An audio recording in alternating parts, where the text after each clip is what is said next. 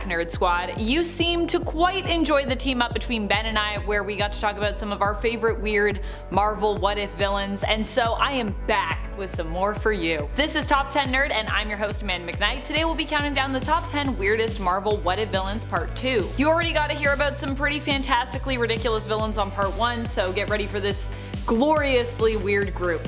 Let's jump into it. Number 10, Dr. Murrow. The interesting thing too about Dr. Murrow is that some spelling for this character is like Dr. Morrow, but if you actually look at the comic itself, it's Murrow with a U, so believe it's Murrow with a U, but if you say Morrow and I say Murrow, that's also fine. I'm not gonna come for you. Dr. Murrow appears in the What If issue number 11 from the 1997 series. Here we answer the question, what if the Marvel bullpen had been transformed into the Fantastic Four? Being from a different time period, there are definitely some extremely, uh, sexist tones in this issue. A lot of it aimed sadly at fabulous Flo Steinberg, who stands in for Invisible Woman. But another ridiculous aspect of this issue, aside from that more serious one, are some of the villains that we see the bullpen version of the FF face off against. Like their first villain, Dr. Murrow. Dr. Murrow's island was the one that they planned on visiting before they were delivered some fan mail. Upon opening it up, they found a mysterious radio-like device which transformed them into the Fantastic Four, granting them powers after they were exposed to cosmic rays that the device emitted. Turns out that this was all part of a Skrull plot, which we find out later in the issue, and that Dr. Murrow was also a victim of a similar device. Oh no. But even with that, why did he attack them when they got to his island? Why is he a villain in all this? Why is he one of the first villains we run into? Did the transformation like make him, I don't know, just really mad or something? Or violent? The reality is they probably just wanted to start the issue off with a good fight and a bit of mystery, but still Murrow ends up being a pretty bizarre villain because of this because there's things that just aren't explained here. Oh well, I am willing to come along for this strange ride in any what if. Number 9. Disappointed Loki. In the What If story, What If the Hulk had the brain of Bruce Banner, we get to see what would happen if the Hulk had kept Banner's wits and then ran into Loki's illusion, you know, with the train tracks and such. Turns out this version of the Hulk was too smart to fall for Loki's trap. Seeing the TNT on the train tracks, but believing it to be an illusion, meant that he would never be put onto a collision course with the Avengers and therefore would never join that team. Instead, Loki ends up disappointed, and Banner goes on to fight against Galactus Galactus, joining with Professor X and Reed Richards to create the new and extremely powerful uni-being of X-Man. Poor Loki though, he's like, but I set this trap in. Alright.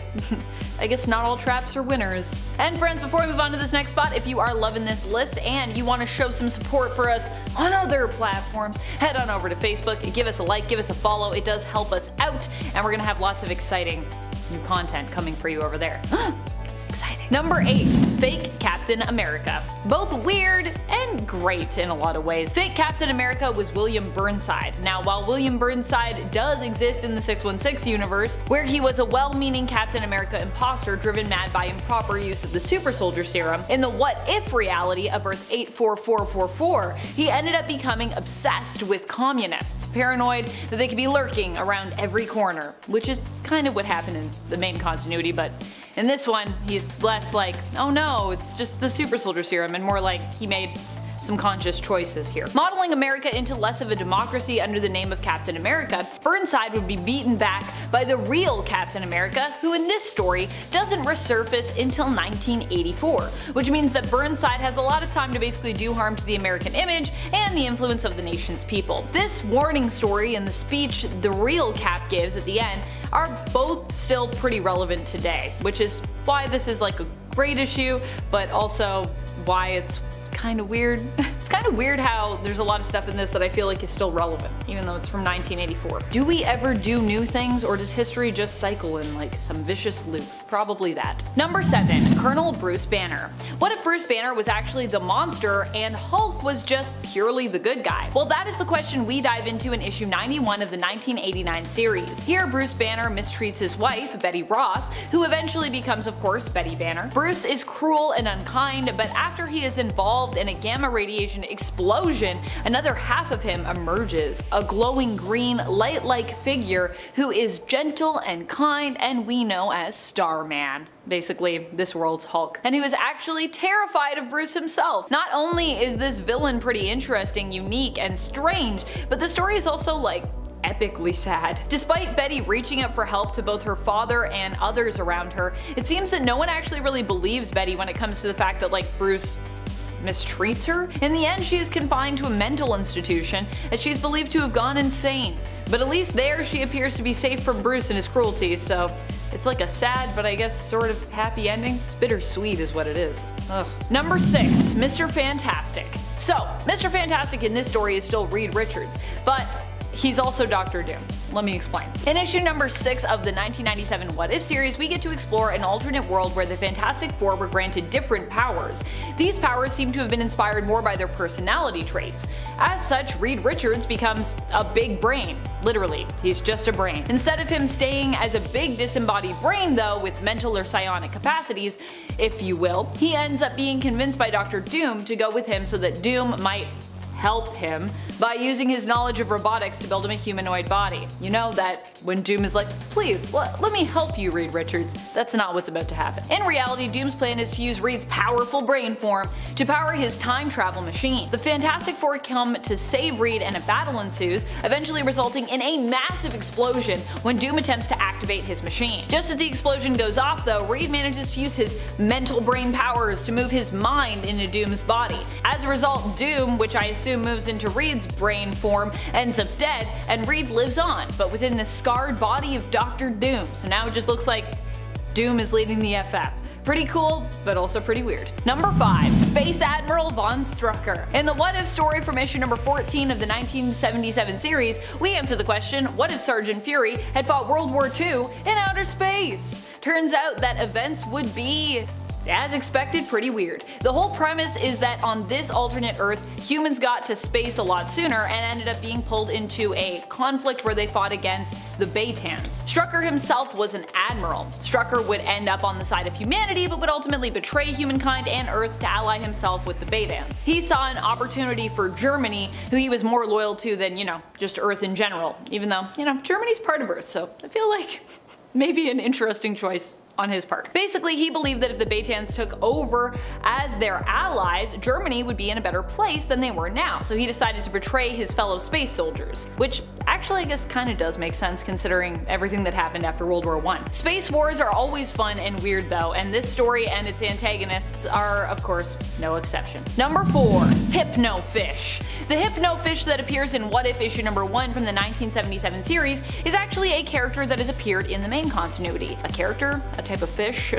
Whether there is only a single Hypnofish or more than one. This is a character who has only made a few appearances in even the main continuity since their first 616 appearance in 1963 in Fantastic Four issue number 14. But they also appear as Namor the Submariner's villainous ally in the first What If issue where we answer the question, what if Spider-Man had joined the Fantastic Four? The end result is that Namor successfully uses his Hypnofish friend to kidnap Sue Storm, but instead of being rescued as she was in issue number 14 of FF, she ends up staying with Namor and uh, ultimately becoming his queen, all because Spider-Man is on the team, which leaves her kind of feeling like isolated from them. In the end, his Hypnofish and Mentofish plot is successful, and Sue chooses to remain with Namor.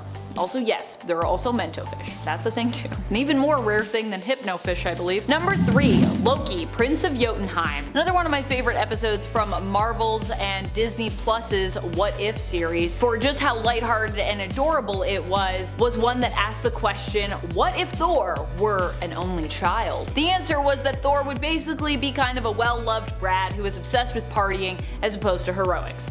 Not only did we get Party Thor in this episode though, we also got friendly frost giant Loki, who is also known of course as the Prince of Jotunheim. Instead of Loki being adopted by Odin and growing up to be the villain we normally know him as, the sort of jealous and vengeful brother of Thor, he becomes Thor's best friend and ally, who also seems to enjoy a good party. And I gotta say, I kinda love it. super weird and super great. Number 2. Galactus. Galactus is a pretty complex character. Sometimes he's a villain, at times he's been a hero, currently I'm pretty sure in the main continuity he's dead and his corpse is maybe being used as part of Thor's throne room, but either way, when it comes down to it, despite being a cosmic inevitability, Galactus often threatens entire worlds with his hunger, which, you know, it feels pretty villainous. And yet even he can end up with a happy ending where he gets to enjoy the simple life. All it takes is for Thanos to use the Infinity Gauntlet to wipe his mind and send him to Earth to live as a human.